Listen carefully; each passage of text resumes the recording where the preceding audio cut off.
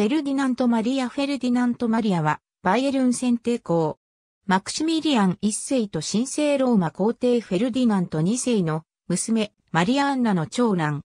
1650年に、サボヤ公、ビットーリオ・アメデーオ一世の娘、エンリエッタ・アデライデと結婚し、マクシミリアン二世、エマヌエル、マリア・アンナら七子を設けた。翌年に、父が死去、幼少のため1654年まで叔父のロイヒテンベルク公、アルブレヒト6世が摂政を務めた。1657年、神聖ローマ皇帝フェルディナント3世が亡くなり帝位が一時的に空位となり、フランス最小マザランから次の皇帝に即位するよう進められるも、拒絶、翌1658年にレオポルト1世が即位した。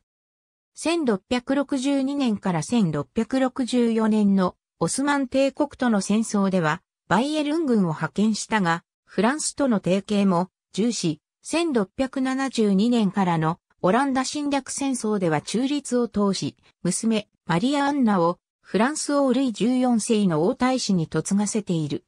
内政では30年戦争で荒廃したバイエルンの復興に取り組み、農業、産業の奨励、教会、修道院の修復や軍の近代化も図った。また、ミュンヘンにニンフェンブルク宮殿を建設、ヨハン・カスパール・ケルルとアゴスティーノ・ステファーニのパトロンにもなっている。1679年、42歳で死去。息子のマクシミリアン2世が先帝公くらいを継いだが、幼いため弟のマクシミリアン・フィリップ・ヒエロニムスが摂政を務めた。ありがとうございます。